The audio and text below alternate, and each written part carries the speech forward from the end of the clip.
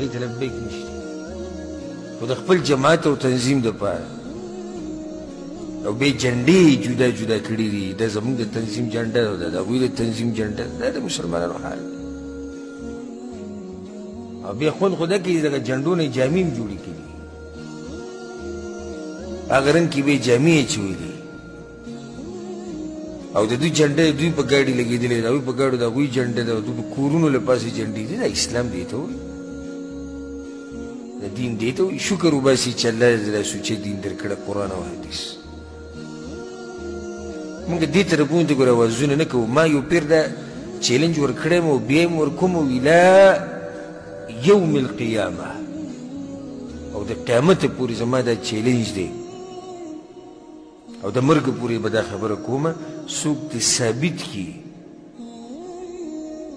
مور دې سي بچی نه دی راوړی چې په ما ثابته کی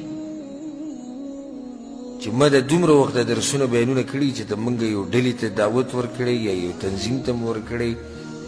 یا مو ویلي چې د پیغمبر نه علاوه زمونږ پلانې مشر اوس ژوندی دی لاړ شي د هغه سره بیعتونه وکړي او لاړ شي دا وکړي دا وکړي زنده باد او مرده باد نه نه موږ یو اواز کړی یوې ډلې لم دعوت ورکړی دی کوم ډله ده مسلمانانو ډله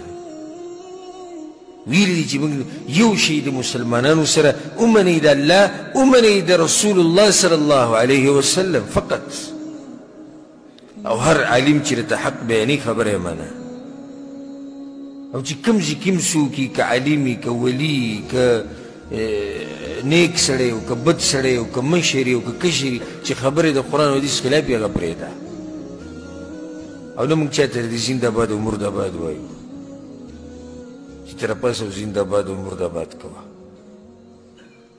او نه